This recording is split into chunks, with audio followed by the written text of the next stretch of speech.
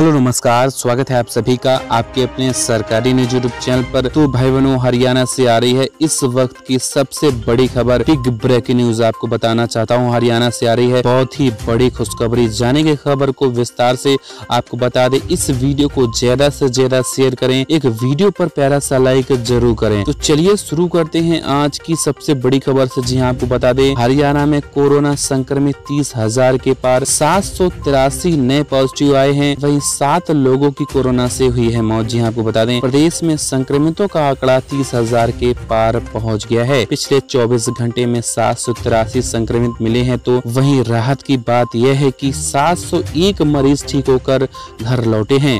वहीं सात मरीजों की साँसें कोरोना से थम गई हैं, जबकि नाजुक हालात के मरीजों की संख्या भी बढ़कर दो पर पहुँच गई है, जिसमें से 140 मरीजों की साँसें ऑक्सीजन के सहारे चल रही हैं। तो संतानवे वेंटिलेटर पर ज़िंदगी की जंग लड़ रहे हैं।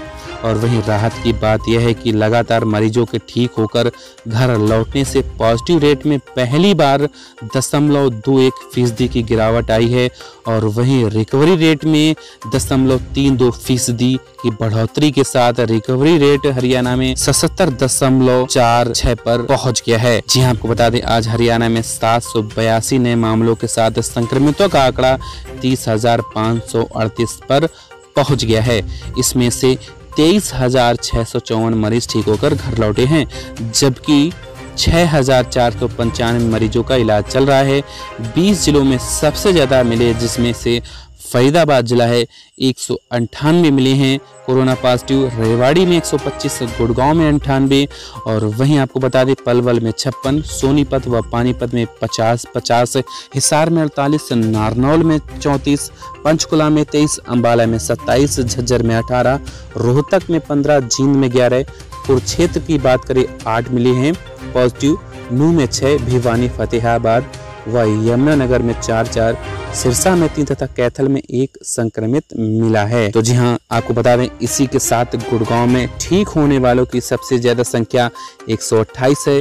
हिसार की बात करें 119 और फरीदाबाद में 109 सोनीपत में 60 अंबाला में बावन, पलवल में 45 झज्जर में 31 और नारनौल में ठीक होने वालों की संख्या 29 है। आज पानीपत में 27 पंचकुला में 25 रेवाड़ी व नू में उन्नीस उन्नीस फतेहाबाद में 14 और कैथल में 11 भिवानी में 7 कुरुक्षेत्र में 4 सिरसा व यमुनानगर में एक एक मरीज़ ठीक होकर घर लौटा है। वहीं आपको बता दें, जिसमें से फरीदाबाद में तीन लोगों की कोरोना से मौत हुई है और वहीं सोनीपत, रोहतक, अंबाला व जींद में एक एक मरीज़ ने दम तोड़ा है। जी हाँ इसी के साथ बढ़ते हैं अगली बड़ी खबर की और आपको बता दें फरीदाबाद ज़िले से आ रही है। फरीदाबाद में प्रदेश का दूसरा प्लाज्मा बैंक शुरू हुआ है। औपचारिक उद्घाटन होना बाकी है। जी हाँ, आपको बता रहे हैं फरीदाबाद में प्रदेश का दूसरा प्लाज्मा बैंक शुरू हो गया है। हालाँकि अभी तक इसका औपचारिक उद्घाटन होना बाकी है।